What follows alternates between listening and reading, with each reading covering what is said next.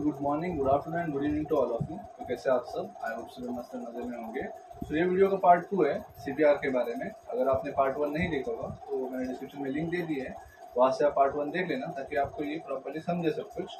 ठीक है तो आज हम लोग बात करने वाले हैं B L S for infants ठीक है तो इसमें है कि इन्फेंट्स जो है, जो ज़ीरो टू ट्वेल्व मंथ्स के बीच में होता है एंड चिल्ड्रंस जो है, जो वन टू एट ईयर के बीच में होता है। आई होप आपको ये सब कुछ पता है पहले से ही एंड आई नो ठीक है?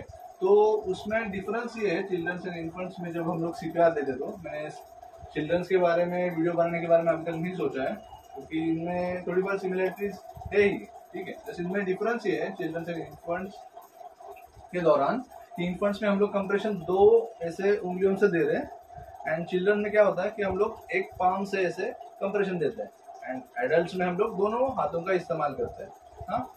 एंड देन इन्फेंट्स में हम लोग डेप्थ कितना रखते हैं? तो 1.5 इंचेस तक हमारी डेप्थ होनी चाहिए।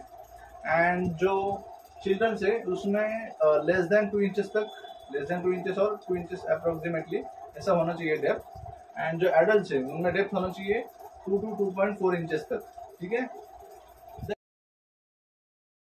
देन हाँ तो ये डिफरेंस आपको ध्यान रखना है। फिर अभी हम लोग बात करते हैं B L S for infants में। तो अगर समझो कोई इन्फेंट कोलैप हो गया एंड फिर क्या करना है हमें? Tap the heel of their foot and talk loudly at the infant determine if they are responsive sorry हाँ? सो देखना है, उसके हील पे टैप करना है, वो कुछ रिस्पॉन्स देता है क्या? नहीं देता। फिर हमें उसके ब्रेकियल पल्स चेक करना है। ब्रेकियल पल्स कहाँ पे? जैसे दो उंगलियों पे लगाना है हमें, उसके यहाँ पे एल्बो एंड शोल्डर के बीच में ब्रेकियल पल्स हमें चेक करना है। यहाँ पे ऐसे दो उंगलियाँ लगानी है। पाँच सेकंड तक चेक करना है हमें बट टेन सेकंड से ज़्यादा हमें वक्त नहीं उसमें गवाना है। अगर समझो कोई पल्स नहीं मिलते, या फिर पल्स मिलते हैं तो वो लेस देन सिक्सटी होते हैं। सिक्सटी पर मिनट होते हैं वो लेस देन तो भी हमें सीपीआर स्टार्ट कर देना है।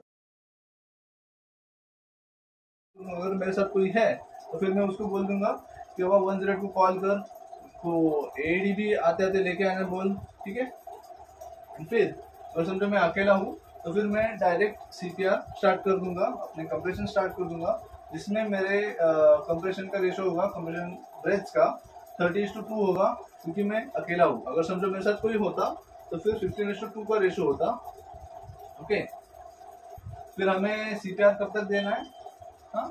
कोलेप्स हो गया, हमें ब्रेकेल पल्स नहीं मिले, हमने कंप्रेशन कितने टाइम के लिए देना है पहले? तो दो मिनट के लिए हमें कंप्रेशन देने हैं मतलब हमारी पाँच साइकिल होनी चाहिए थर्टी कंप्रेशन का एंड दो रेस्क्यू ब्रेथ्स का। पाँच साइकिल ऐसे होने चाहिए।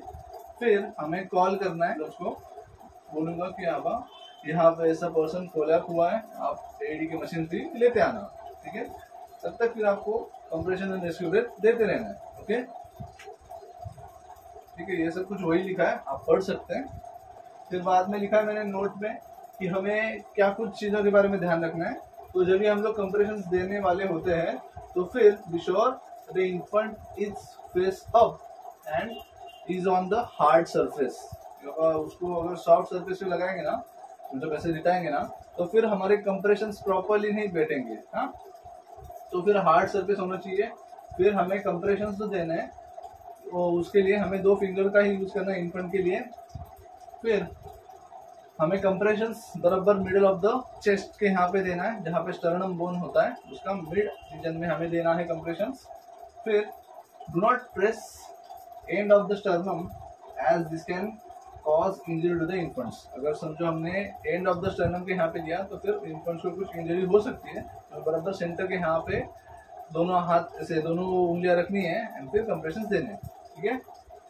देन उसके डेप्थ जैसे मैंने बताया compression depth should be 1.5 inches मतलब 4 सेंटीमीटर एंड हमारे कंप्रेशन कितने होने चाहिए पर मिनट में? 100 से 120 कंप्रेशन होने चाहिए पर मिनट ठीक है? आई होप सभी को समझ रहा होगा। आप स्क्रीनशॉट निकाल सकते हैं। तो फिर अभी आगे देखते हैं। तो आगे है use and follow the AED prompts and while continue the CPR अगर समझो एडी की मशीन हमें अवेलेबल हो गई तो हमें प्रॉपरली उसके चेस्ट मतलब शर्ट निकाल देना है। एंड अगर समझो उसका चेस्ट वेट है थोड़ा तो उसे हमें ड्राई कर लेना है। नहीं तो वो जो एडी के ये थे ना पैड्स थे ना प्रॉपरली स्टिक नहीं होंगे, ठीक है? तो जैसे वो इसी लीड्स होते हैं स्टिकी तो वैसे ही एडी पैड्स होते हैं। तो हमें इनफ्रंट्स में कहाँ लगाने तो in front of the chest में लगाने हैं, यहाँ पे बराबर। जस्ट उसके बैक साइड में लगाने ऐसे दो पैड्स होते हैं, वो लगाने इनफ्रंट्स में।